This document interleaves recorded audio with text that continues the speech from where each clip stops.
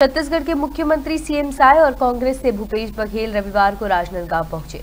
इस दौरान वह दोनों नेता सतनाम भवन पहुंचकर मिनी माता के पुण्यतिथि के कार्यक्रम में शामिल हुए। कांग्रेस के पूर्व मुख्यमंत्री भूपेश बघेल ने कहा कि आज के ही दिन महिला सांसद मिनी माता का विमान दुर्घटना में निधन हो गया था। मिनी माता सबसे प्यार करती थी।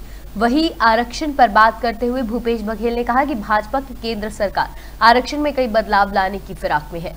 तो वही सुपर सीएम के मामले में बोलते हुए उन्होंने कहा कि मुख्यमंत्री साय की धर्मपत्नी खुद अपने आप को सुपर सीएम घोषित की है।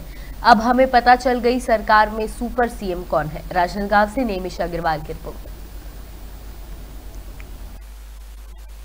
हमेशा छत्तीसगढ़ के लोगों को मातृवत, वो सबको स्नेह देती थी, सबको दुलार करती थी, लेकिन प्लेन क्रैश जो हुआ, उसमें उनका आकस्मिक घावसान हुआ।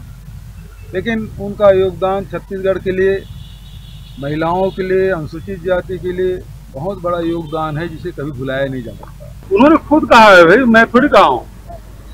उन्होंने मैडम राय ने खुद को अपने आप को सुपर सीएम कहा और पत्रकारों ने पूछा तो अभी तक ये पता नहीं चल रहा था कि विष्णुदेव सहाय की सरकार में किसकी चलती है?